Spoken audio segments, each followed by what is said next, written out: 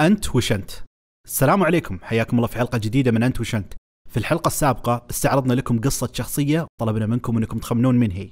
الشخصية كانت فيث من لعبة ميروز زيج وهنا نستعرض لكم بعض الإجابات الصحيحة من الكومنتات.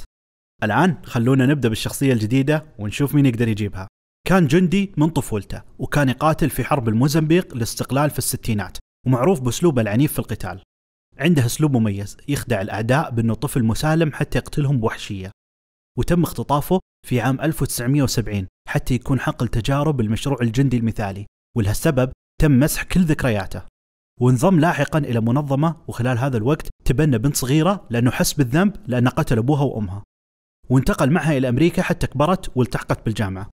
لاحقا بسبب أحداث مؤسفة انفجر فيه لغم ولحسن حظه تم تجميع أجزاء جسمه وتركيبها من جديد باستخدام عملية خاصة آلية حتى يصبح نينجا بقدرات خارقة. عرفتوا مين هي الشخصية؟ شاركونا بالتعليقات ولا تنسون زر اللايك والاشتراك بالقناة ويعطيكم العافية على المتابعة